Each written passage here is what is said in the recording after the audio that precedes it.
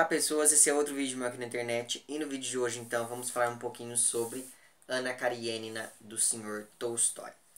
É, na semana passada não tivemos vídeo e não tivemos vídeo porque eu tinha um congresso para ir uh, e eu acabei indo viajar né, na quinta-feira pela manhã. E daí o que acontece? Acontece que eu gravo os vídeos para esse projeto ou na quinta ou na sexta e eu estava crente de haver colocado no canal um vídeo explicando, gente, não vai ter vídeo porque eu vou ir no congresso, então, blá blá. Só que isso não aconteceu e eu estava ciente de haver colocado esse, esse tal desse vídeo. Eu só fui perceber que não coloquei no canal é, quando as pessoas começaram a me perguntar, olha, e o, e o, e o projeto lá do Ana Karine, não vai ter mais vídeo? Então, enfim, é, peço desculpas por, esse, por essa falta de comunicação, mas vamos continuar normalmente o projeto. Daí uma coisa que era, os, os vídeos eles saem a cada 15 dias, né? Uh, como não saiu na semana passada, está saindo nessa. E vai sair também um vídeo já na próxima semana em que eu comento é, a sétima parte para poder para que a gente possa encerrar o projeto dentro do prazo que eu havia estabelecido lá desde o início, ou pelo menos para que eu encerre o projeto, né? Porque eu não sei, pode ser que você tenha entrado no barco agora, então, é, porque até o dia 1 de julho é, é para que a gente, dia 1 de julho é para que saia o primeiro, o último é, vídeo deste, deste projeto aqui, então eu vou tentar fazer isso até dentro desse prazo. Mas enfim, o que aconteceu então nessa sexta parte é, do Ana Karenina. O foco ele se voltou muito mais para a família do, do Lievin, ou melhor dizendo, para a família da Kitty, que foi visitar o Lievin, não é? Então, acho que mais da metade do, do, do capítulo é dedicado a essa a essa adaptação que o Lievin tem que, tem que sofrer ali no, na própria rotina para poder acomodar a família dos Cherbatsky. Porque a família da Kit, que é a mulher dele, foi passar uma temporada na casa de campo do Lievin e uma temporada, diga-se de passagem, interminável, não é mesmo? Parecia que eles não iam embora nunca mais ali, até eu estava me sentindo incomodado. E daí uma coisa muito curiosa é que uh, ele ele apesar de gostar muito da família da Kit, ele começa a se sentir cada vez mais sufocado ali naquela situação. Tanto que, logo na, no início dessa sexta parte, no capítulo 1 aqui, né, naquilo que seria o capítulo 1, que corresponde à página 543 dessa minha edição, é dito o seguinte: Todos eram parentes e amigos da esposa de Lievin, e embora gostasse de todos, ele lamentava um pouco pelo seu mundo liveniano e por sua ordem abafado sob aquele fluxo do elemento sherbatskiano, como ele dizia consigo. Então veja que ele é, é, eu gostei bastante, eu ri bastante quando eu li isso, porque a gente vai percebendo que é exatamente essa a situação que se estabelece ali, né? Ele se vê de braços atados diante daquela, daquele povo todo invadindo a rotina dele. Eu, particularmente, eu tomei um pouco das dores dele aqui.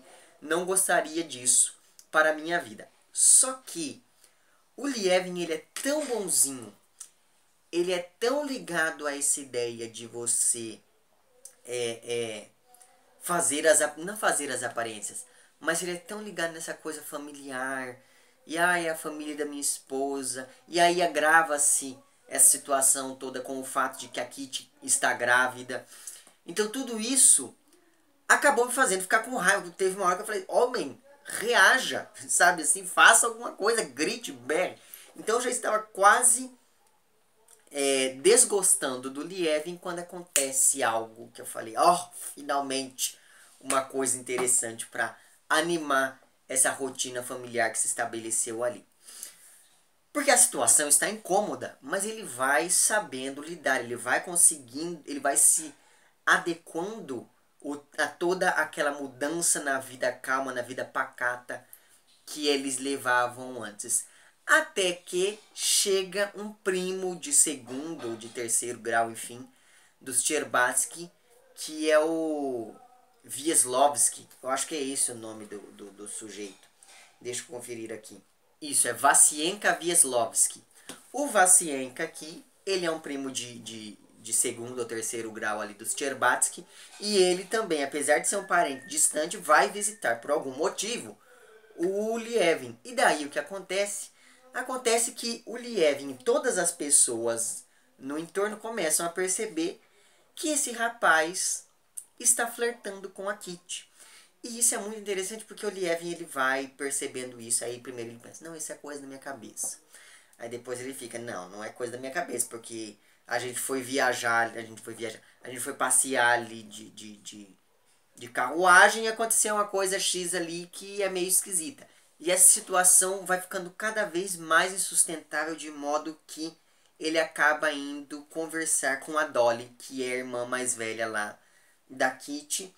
É, e daí é muito engraçado porque a Dolly fala para ele, olha, todo mundo percebeu, mas você tem que entender que ele, enquanto um rapaz jovem e solteiro, ele está fazendo algo que lhe é natural, que é cortejar uma, uma moça nova e bonita. Só que ainda assim, o, o Lievin, ele dá uma das melhores respostas que eu já vi alguém dando uma situação como essa. Ele diz o seguinte, isso está na página 592, que corresponde ali ao início mais ou menos do capítulo 15. Ele diz o seguinte, quando a, quando a, a Dolly diz isso para ele. Muito bem, ótimo, agora eu estou mais calmo. Vou escorraçá-lo daqui. Quando eu li, eu falei, gente do céu, veja a, a, a fineza da pessoa. Ah, não, estou calmo, mas eu vou escorraçá-lo. E é exatamente isso que ele faz. Então ele conversa ali com, com a Dolly, que pensa até que ele está brincando diante do absurdo daquela situação toda. E depois que ele conversa com a Dolly, ele vai lá é, ter com esse, com esse sujeito. Aí o que acontece? Assim que ele entra no quarto de hóspedes e vê esse rapaz, ele pensa o seguinte, e isso ainda na página 592. Era sem dúvida um bom rapaz, e Lievin teve pena dele, e sentiu vergonha de si mesmo como seu anfitrião quando percebeu uma timidez no olhar de Vassienka. Porque aquilo, além do Lievin ir conversar com esse rapaz, antes disso ele já avisou para os criados, olha, arrumem as carruagens, preparem as carruagens, porque esse rapaz vai embora daqui hoje. E daí ele diz o seguinte, para esse rapaz como desculpa para que, que ele vá embora. Aconteceu que vão chegar uns hóspedes, respondeu Lievin, enquanto com os dedos fortes e cada vez mais depressa quebrava lascas da ponta rachada do pedaço de pau. Na verdade não vai chegar ninguém, e não aconteceu nada. Mas eu peço que o senhor vá embora. O senhor pode entender como quiser a minha descortesia. Então, assim, é, eu achei essa situação toda muito muito engraçada e serviu para animar um pouco essa rotina familiar que havia se estabelecido aqui. Então, esse rapaz acaba indo de fato embora, todo mundo ali ah, fica extremamente constrangido com toda aquela situação. A própria Kitty, é, ela, se, ela, ela enxerga tudo isso como, como algo ultrajante, que o marido tenha é, feito uma coisa dessa. Eu acho que ele está com sua razão, não sei. Eu, eu acho que eu faria o mesmo nem que fosse para animar um pouco as coisas que estavam se passando por lá. Mas enfim, o fato é que esse rapaz, depois que saiu da casa do Lievin, faz o quê? Ele vai para casa de um amigo dele que mora na, circun... na, na, na, na região ali. E quem é esse amigo? O Vronsky, que tinha ido lá passar uma temporada na casa de campo, uma vez que, eu não sei se você se lembra, mas uh, a Ana ela é extremamente mal vista pela sociedade de São Petersburgo e eles acabam então indo ali, eles acabaram indo ali para o campo. E quem vai visitar a Ana Karenina é, é também a Dolly, que na minha opinião cresceu muito dentro desse, desse capítulo. Ela sempre está envolvida em toda essa trama. Então quando alguém quer conversar sobre alguma coisa, pedir algum conselho, vai procurá-la. Então eu achei que ela, ela, ela é uma personagem que até então ela havia passado meio que despercebida dentro da, da, da trama, né? dentro do, do, do, grupo de personagens que o, que o Tolstói vai, ter, vai criando aqui.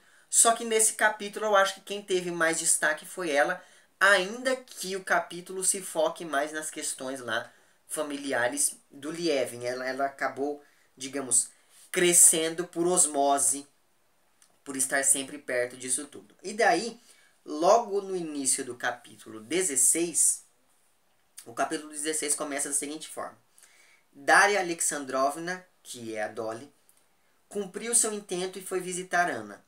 Lamentava muito causar um desgosto à irmã e fazer algo desagradável ao marido dela. Daria compreendia que os Lievin, como pessoas virtuosas, não quisessem ter nenhuma relação com Vronsky, mas ela achava que era seu dever visitar Ana e lhe mostrar que seus sentimentos não podiam se alterar, apesar da mudança da situação de Ana. A fim de não depender dos Lievin nessa viagem, Daria Alexandrovna mandou alugar cavalos na vila, mas Lievin, ao saber disso, procurou-a e a repreendeu. E daí continua lá a conversa entre Lievin e, e Daria. Então, veja, não sei se você se lembra, mas no começo do, do, do livro, a Daria ela passou por uma situação de, de infidelidade conjugal, né? O marido acabou traindo e ela foi visitada e aconselhada pela Ana. A, a Dora ela cresceu bastante no meu conceito aqui nesse capítulo, sobretudo depois que ela uh, vai até a casa dos, do, do, do Vromsky e da Ana. E daí é muito curioso porque uma das coisas mais interessantes que o Tolstói faz aqui é mostrar pela primeira vez, sob a perspectiva de alguém de fora, mas ainda assim conhecido do leitor, como que é a situação da Ana. Porque veja, até então a gente acompanhava essa situação toda em que Ana e Vronsky estão sob a perspectiva da própria Ana e do próprio Vronsky, ou no máximo de algum ou outro personagem que aparecia meio que perdido aqui dentro do conjunto da obra.